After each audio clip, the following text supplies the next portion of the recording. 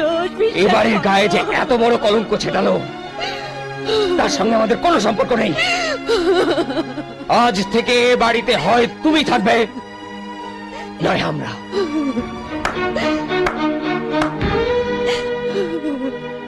বা মেজদা বা তোর কর্তব্যবোধ দেখে আমি একেবারে অবাক হয়ে যাচ্ছি।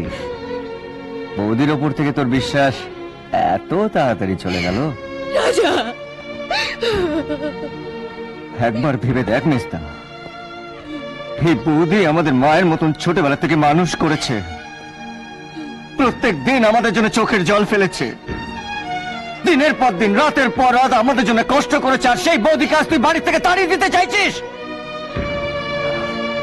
তুই জানিস না? আমরা ছাড়া বৌদির আর কেউ নেই তুই জানিস? কেন?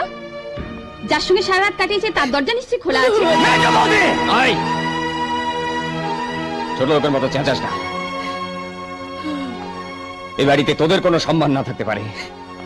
কিন্তু আমার আর পল্লবীর একটা সম্মান আছে। হ্যাঁ। হ্যাঁ। রাতারাতি বড় লোকের জামাই হয়। হাত তো সম্মানটা বেড়ে গেছে। তাই রাতারাতি তুই মানুষ থেকে একটা অমানুষ হয়ে গেছিস। তাই মায়ের মতন বৌদির গায়ে কলঙ্কের দাগ ছিটাতে আজ বিবেকে লাগছে না।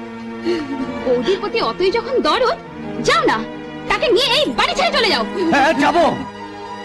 চলে যাব। তোমরা সবাই বৌদির সঙ্গে সম্পর্ক ত্যাগ করতে পারো, কিন্তু আমি আমি সেই স্নেহের সম্পর্ক ত্যাগ করতে পারব না। আমি চলে যাব এই বাড়ির থেকে। আমি আমার বৌদিকে নিয়ে চলে যাব।